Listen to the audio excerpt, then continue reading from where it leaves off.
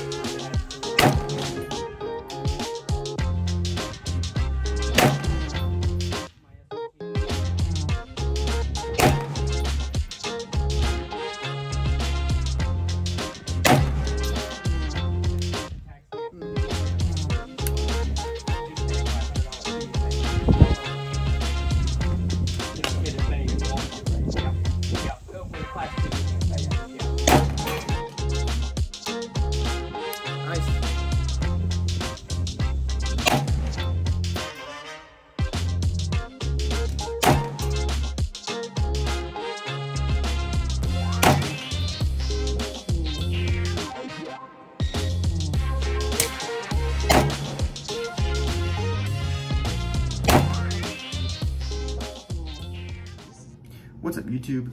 This is Xavier back at it again with another video from DFW Gunworks. I've been away for a while. Not away away, just not on YouTube. Uh, things have been a little busy, a little hectic. Got married. Um, money's been a little short, a little tight. Uh, ammo, hard to find. I wanted to do this video for a long time. I got this uh, firearm uh, from a buddy of mine, just doing a review on it and I shot a couple rounds through what I had. I was able to pick up some steel at a really cheap price. Um, felt like it wasn't enough footage, so I wanted to get some more for you, and I've just kind of busy ever since. So I apologize. It's been, I don't know, four months, almost five months now since I posted a video out, but I am back. Um, we're gonna try getting some more ammo, getting some videos out to you guys. Um, moving in a couple months, so we'll try to get some stuff out before then and during the move. That way you guys doesn't watch. Um, but let's let that be that. Um, today, get something fresh for you guys. Um, definitely going to be the 50 Shades of Grey uh, Scar 17 uh, S. So, um, I don't know. I, I, mean, it's not an H, even though it fires uh, heavy caliber. But uh, yeah, Scar 17S, uh, chambered in 760 with 51 or 308 um, we'll fire both. I shot 308 the first time, shot 762 51 today. Um, so I have video, video footage of that, as well as the first time I shot the, the, uh, the rifle. Um, pretty neat thing overall. Um, not very short gun by any means. Um, it is a battle rifle. Um, that being said, it does fire a huge cartridge. Uh, I don't have any rounds with me. Sorry, I shot them all. Um, to show you, as far as comparison between that and an AR-15, um, but just know the bullets are huge. Um, yes, this is a Sightmark. Yes, I got it from Academy at a super cheap price for testing purposes because I was told that the Scar uh, kills optics that are not worthy of it. And I don't think the Sightmark is worthy of it. However, uh, didn't die, but didn't hold zero either. I sighted it in got it on point, and uh, it's almost like it was bouncing back and forth because I put it on the target, I was on a bench, shot, hit the target, shoot again, miss the target. I was like, the heck, you know? Um, so, don't know if it was just me pulling the shots or if it was the optic. Hard to say at this point. I'm pretty bad, so we'll see. But enough of that. Let's go ahead and get you guys into some footage on the range. Um, new range today was actually a range out in uh, Terrell.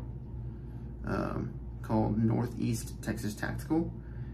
Pretty cool place. Not actually that busy at all. Um, went out there, there was a couple guys shooting some some long range, I think thousand yard worthy guns. So maybe six five Creedmoor reaching out that far, maybe 800 yards. Um, some guys that are shooting some crazy stuff. Um, 100 yard bays were pretty empty. Brother was shooting some suppressed 308 um, and then uh, shot some pistols. So enough of that. Let's go and get some footage in and uh, hope you guys enjoy. All right, so shot a couple rounds with the SCAR. Um, got it zeroed in a little bit. So we're shooting a little, a little uh, high. Um, with the Sightmark, obviously Sightmark is special. It's freaking cheap optic from Academy. Um, but uh, it's holding so far, getting a couple hits every once in a while. Other than that, the SCAR's pretty pretty badass. No no recoil really. It's usually pretty, it's pretty steady for 308. Um, gonna put about 20 more rounds through it and see how it goes. My hand was just resting on that, so that's really hot. But um, nothing wrong really with it. It's, it's, pretty good. Even shooting it, I went to go inside it into 25 yards just to see how it worked. Um, see if I can get it close. And uh, yeah, not really any recoil. Pretty pretty minimal. So. Gotcha. You have adjustable gas block on that? That's nice. Yeah, that was one thing that like you gotta have adjustable gas block. Yeah, on those bigger rifles like that. I was telling him, I was like, yeah, these, uh, eight or ten.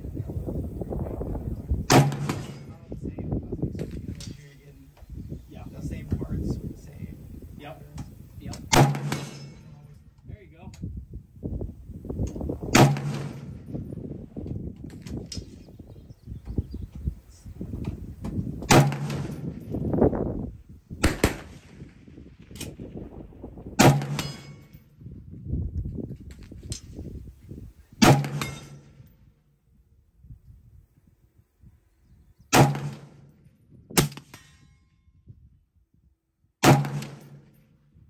Like you're high now. Yeah, so now I'm like uh, the back legs. You got a brand new. All right, guys. So I'm gonna show you how to dismantle it. Dismantle it? Show you how to take it down. Take it down. Field strip, whatever. You know what I, you know what I mean. Um, should I take it down? Uh, it's a little different than most AR-15s. Um, there's not two takedown pins. There's only one. Um, but we're going to do it right now. So first off, there's a takedown pin right here, front of the control group. Um, first off, we're going to clear the rifle because I know all the gun nerds on YouTube think that uh, guns are always loaded. Uh, they usually are, but not videos. Not in this video, actually. So pretty empty to me. I don't see a round in there. There's no magazine here either, so no magazine. Uh, by the way, the magazines are kind of uh, weird shaped here. They have different, different shade of tan, FDE, um, the rest of the gun. Um, mag's empty, and nothing in the chamber or attached to the bolt. It would come out if it was. It's not, I promise. All right, so gun's on safe as well, but let's go ahead and take down this, this uh, take down pin. So I'm gonna push that, push through this from this side over here. Right there, right there. Opposite end, right here. Just push through. And once that's out, you actually can pop it forward a little bit and then slide upwards or away from the back of the gun, just like that. And there you go. That's the lower end. We are done. I'm just kidding. Not done. Uh, fire control group. Um, pretty neat setup. Kind of weird. Whatever. Fire control group. Um, and lower, kind of, as well as the grip. Um, next up, I'm gonna run out of space real quick. Um, next up, we're gonna go ahead and slide off the UGG boot because UGG boot, right? Um, so that actually just pushes straight down, actually. So as long as you just push straight on it, it should slide straight down. There it is, just coming straight down. Boom, that's it. UGG boots off. Stock, whatever. All right, so now we have our upper, you know, upper fire control group. Fire control group? No, upper receiver. Jesus Christ, it's been a while. Upper receiver. Um, pretty heavy, even for be, even for it being aluminum. Um, it's still pretty nice. I think majority of it's gonna be this barrel that's massive. Because normally you think this is good, but got an extra eight inches. Another needs eight inches. Um, so next up to get this out, this this does kind of, if you guys look, it does kind of slide, but it does run into the top here. So pull down, and your recoil spring's gonna come out, just like that. With the recoil spring out, then that allows you to remove this pin here for the bolt. And we're gonna hold on to it because it's gonna flap the back. So, just like this. That comes up, just like that. And now the bolt comes out. Boom, just like that. So now you can just throw this away because you don't really need this. Okay, but this is the money. This is the, uh, as some would say, the optic killer. Uh, kind of. Basically, what you have is shooting a rifle like this, um, firing your shot. Uh, that this huge piece of handcrafted or forged steel here, it's coming back. And when it hits that spring, it's shooting back forward, boom, and hitting that the front of the rifle, um, making your optics kind of take more um, recoil and damage to the front as opposed to the back. Know, ARs have the strength back, taking a lot of that, hitting back and going back forward. Uh, think of the opposite for a SCAR. Um, it's not really a, I mean, it looks like it, but not really a long piston setup. Kind of short. Because when you have this, this is all the way at the front of the gun. Um, but enough of that, because uh, it's all boring stuff. One really wants to know about that nerd stuff, but uh, mainly the gun itself. So, anyways, real quick, one last thing to show you guys, because it's actually pretty neat. Um, the SCAR does come with an adjustable gas block right here. Um, so to get that last piece out, which you can take out as long as you have the right tools or if you can use them on the fly. First off, pop the side up, front side does flip up, boom. Here's your gas block, right? So it does, it will flick left and right, boom. Changing between the pressures for suppression, things like that. Too much, too much gas, too little gas. Um, so there's actually a detent pin on it. I just want to flick it to the front and then using the the bolt pin here, I'm going to push that detent down just enough to get it over. That's it. It's going to rotate all the way over and actually it's going to come up. This is your gas box selector. Once it gets all the way over there. That's it. That's out. So inside here in the front, that's where that piece is going to be. Uh, to get that out, um, it'll come out actually through the front, so we just took it off. You'll take like a cleaning rod uh, and push through from the back, and it will push the piston right out the front. Uh, so once you get that out, the gun is basically ready to go and get cleaned. Um, full access to the barrel and full access to everything else. Um, so pretty easy, uh, easy to clean. Um, so let's go and put this back together just so you guys can see it go back together. Um, assuming you did not take the piston out, you did, pop back in the same way we did. Go ahead and put this selector back in. And it won't spin all the way because we have to push that pin down. So easy thing to do is just use that freaking lever you got. Try to do backwards. Oh. Okay, flick it over. Drop this front side down because we don't need that in the way. We got our amazing Sightmark.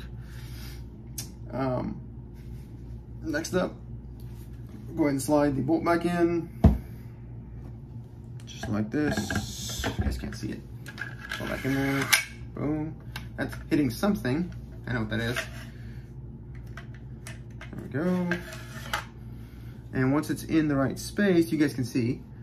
Let's check it out right there. So, on the, like right here, it's got a certain shape that only lets that pin come out if it's right there. If it once it moves, it can't, right? So, trying to hold this one hand. I'll show you guys. Ooh. Once that's there, it's gonna go right in here, just like that, and we'll better pull it up because now the bolt attached, and the spring goes in, just like that. Back, that's gonna sit in there, um, not really move, and then you'll slide your amazing UGG boot back on, back on from the bottom, just like this.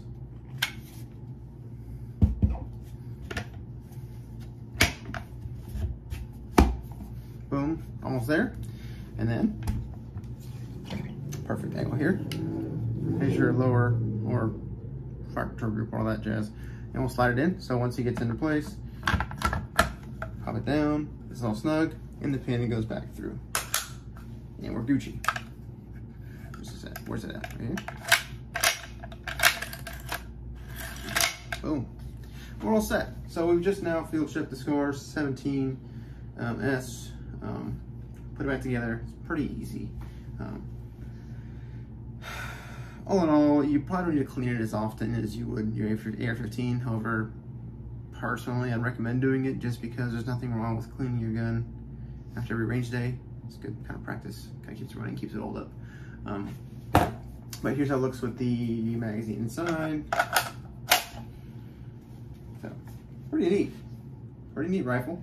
Um, the muzzle device, uh, muzzle brake uh, with a small flash hider, flash, flash hider. However, you still get some huge flames from the front of the gun. Um, I did not see any personally. However, they are very visible whenever someone else shoots it. Um, I couldn't see it. Um, but yeah, that is how you field strip and reassemble the SCAR 17S. Um, got some more range footage for you guys. So you guys want to hop into that and take a look at it.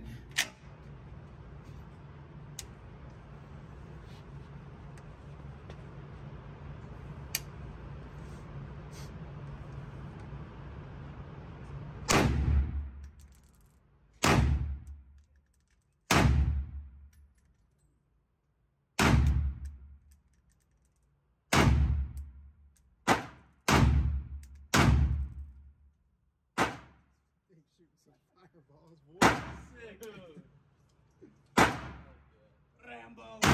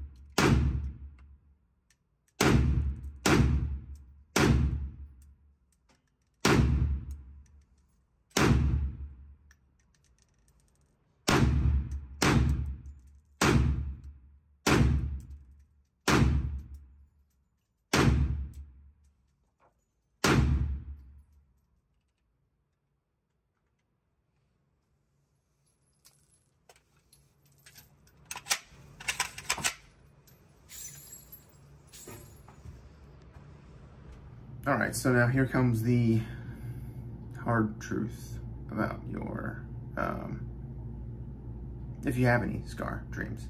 Um, rifle right now on Gunbroker, uh, going for $3,500. It's a lot of money, man.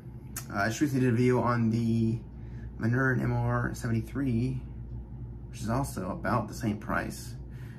Now I know what you're saying, why would you get the Manurhin uh, uh, revolver, that amazingly blued finish and amazing capability of hitting 100 yards easy with the reset magnum and blacked out irons, um, as opposed to getting this bad boy.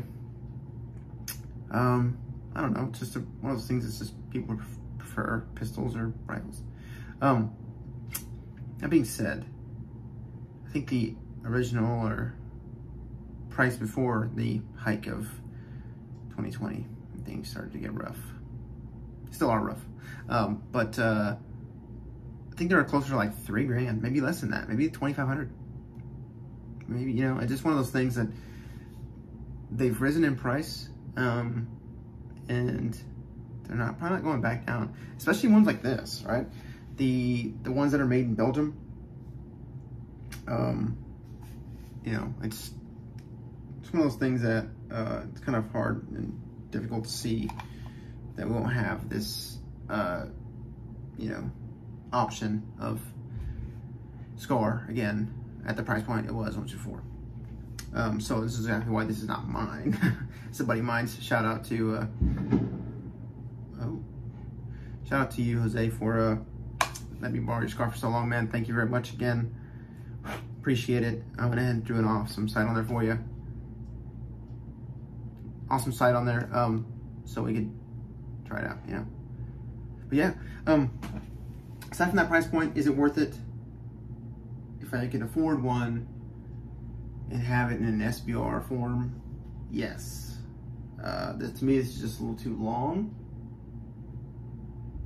Um, but still, it's nice, nice, nice battle rifle, man. Nice battle rifle, you know, just pretty neat. Um, again, like I said, I had no issues with it. It was awesome. Would have been nice to throw a suppressor on it. However, the muzzle device is not uh, something easy to take off and on. No quick disconnects yet, at least. I don't know what he's going to do with the rifle, but if he does, I'll point another review on it with it suppressed. Um, however, that being said, you know, again, it was a long time way to do this review uh, or this just kind of quick info on this gun. Um, other than that, it was a pretty neat, pretty neat setup. Um, I don't know if I told you guys, but everything on this gun is ambidextrous. Safety switch, safety selector, um, your magazine release just right here for the right hand side. Left hand side also has it over here. So that's gonna pop the magazine out as well. Um, except for the bolt catch, which always, or slide release, whatever you wanna call it. I was not gonna have my ambidextrous. Um, but uh, flip up sights from the irons um, in case you decide to need irons, in case your optic dies and you kill it on accident at the range or in a safety defense situation. But um, yeah, comes on with that um, neat battle rifle-esque of a gun. Long, big, probably hard to maneuver indoors, probably gonna be extremely loud. Um, but will you need to shoot your perpetrator twice? Probably not. And on that note, guys, thanks again for watching this video uh, by DFW Gunworks. Again, my name is Xavier. I was glad to bring this review. Um, looking forward to giving you guys some more here pretty soon. I'll get some more footage and some more ammo, so we'll go out and do some more um, reviews on those guns. Um, just recently got a new optic for the AR-15, so I'll be fun to kind of use this stuff done an AR-15 build video. Mine's something special. It's actually back in the corner, right over there. Oh, right over there. Um, but um, that being said, um, probably gonna do that next. Um, was able to pick up a uh, well, pretty far. Yeah, SIG, MSR, uh, green dot sight. Jeez Louise, man, that was like a glitch. Um, and uh, throw that on there. Got that zeroed in today too as well. Um, all I had was steel case, and I had to use my frangible rounds to uh, to shoot it. I didn't want to, but at the range, that's all you got. You gotta, what you gotta do. So I shot frangible today. Pretty neat. Never shot frangible today yet, yet before, but uh, it's pretty nice. Pretty cool playing on the steel with bullets that are hitting 2,700 feet per second and just disappearing when they hit up there. So that was fun. Um, but again, thanks guys, thanks for watching. Um, don't forget to like, comment, subscribe. Uh, if you have any questions, shoot me a comment. I'll get back to it as quick as I can. Um, again, I'm just gonna apologize. Sorry it's been so long since I posted a video, but I'm definitely getting back into this um, again. Things are a little better now, so I can start um, putting all the time into it. But when it boils down to it, don't forget, uh, things crazy out there. Rights are in danger, so just carry. That's all I can say. And uh, anyone asks, let them know why. Let them know why you're pro 2A, why you're pro pro gun, things like that. And they don't ask, let them know anyways.